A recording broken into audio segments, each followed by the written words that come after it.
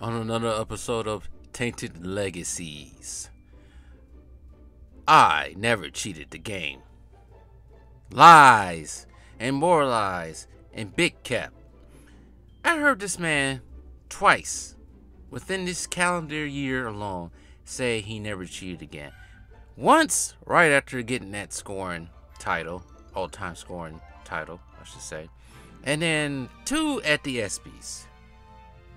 We all know this is lies, the biggest lies. But before I start and begin, make sure you subscribe to Franchise Sports TV on Rumble, FSTV22, and also subscribe to this channel on YouTube as well.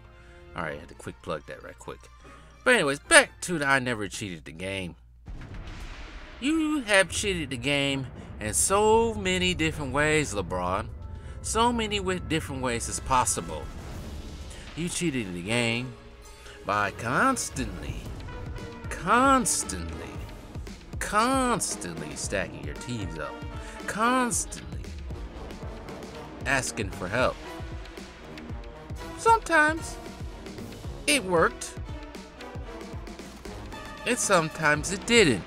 Most of the time, it hasn't. There has been people who won more rings than he has. That played with less talent.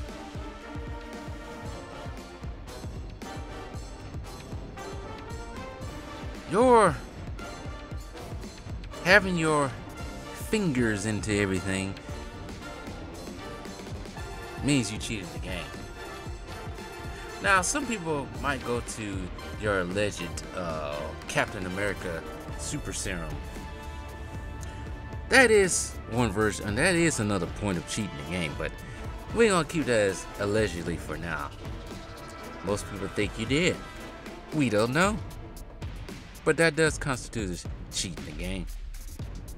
You cheat the game by sitting out against big teams.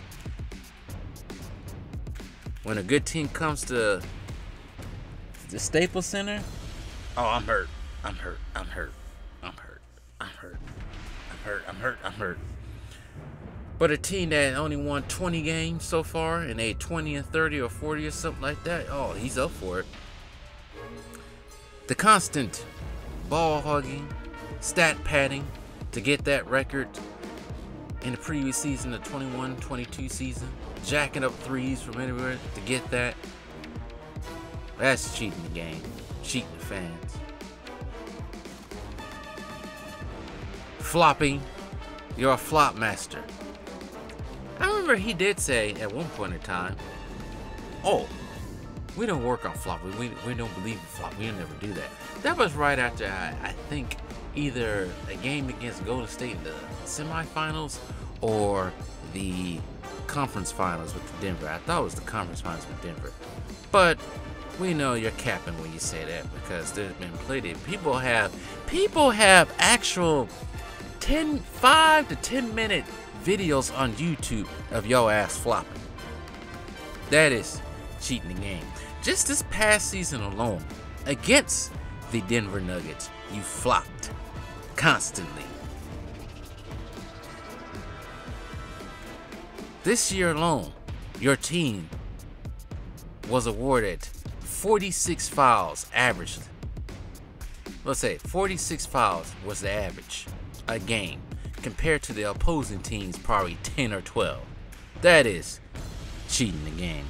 You cheat the game every chance you get to catch Michael Jordan, which you never ever will. You know what?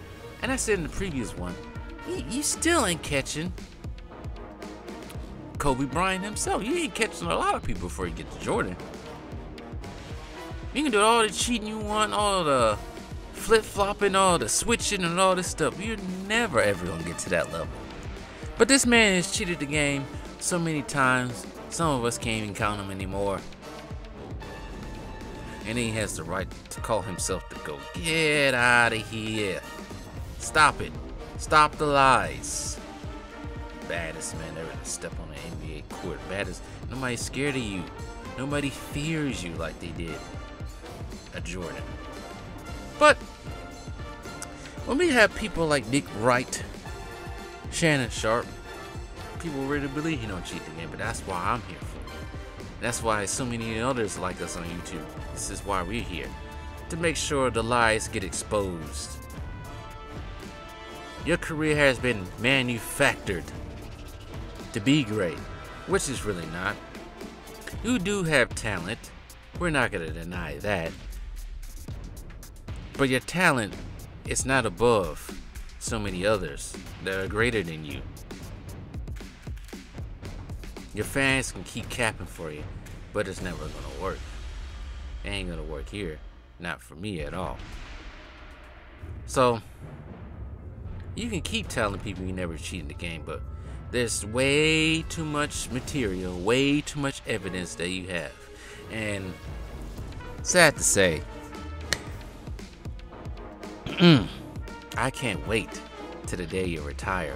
Because most of us thinking the reason why you won't retire because the minute you retire, all these things about you that nobody knows that soon will be possibly out in public will even dampen your career even more, dilute it even more once this stuff comes out. So we slowly waiting for what the end looks like for you after you retire. Because it's going to be really interesting. And then we no longer have to say allegedly when it comes to you because me and so many others, we think you've been on the Captain America serum. We just have no evidence. But there's some, but we have no confident evidence that you are. So it'll be alleged for now. But you have cheated the game more than anything. More than any player that ever graced the court. And that's why we can't take you seriously. That's why you're no GOAT. You're a freaking delusional fans might think it. Shattering their dreams of you becoming the GOAT, which you never will be. So keep on trying. You can try so hard, your fans can cap for you, your minions and the sports media can cap for you, but we don't know who you truly are. We see right through the thin veil of what you truly are. A manufactured, cheating ass superstar.